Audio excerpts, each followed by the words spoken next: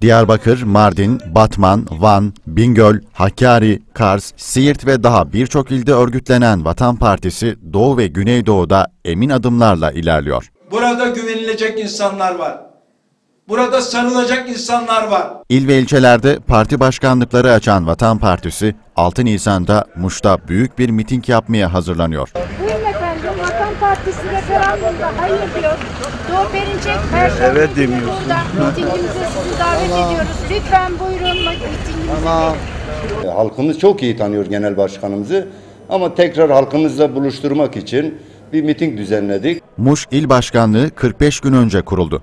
Partililer miting için karar aldı ve dört koldan 6 Nisan'daki miting için büyük bir heyecanla çalışıyor. Bildiriler dağıtılıyor, mitingi duyurmak için araçlar Muş sokaklarında dolaşıyor. Çalışmaları yakından takip eden Vatan Partisi Genel Başkan Yardımcısı Mehmet Bedri Gültekin, birliğin mesajını Muş'tan vereceklerini söyledi.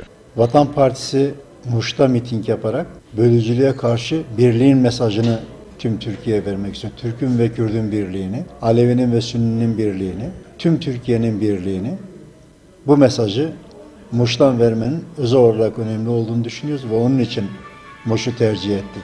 Vatan Partisi Muş İl Başkanı Yıldırım Suluvan çalışmalar hakkında bilgiler verdi. Vatan Partisi birleştirici olduğundan dolayı şimdiye kadar bütün e, siyasi partilere üyeliğimiz yok ama oyumuz olmuştur.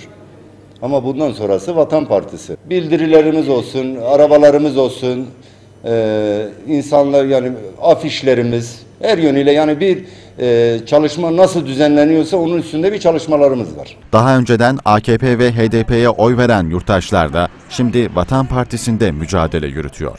Başkanı takip ettim. Çizginde şaşmayan biri. Doğru yolda olduğuna inandım. Tercih ettim. Yani bu sefer de Vatan Partisi'ni tercih ettim. Vatan Partisi vatanımızdır, vatan partisidir.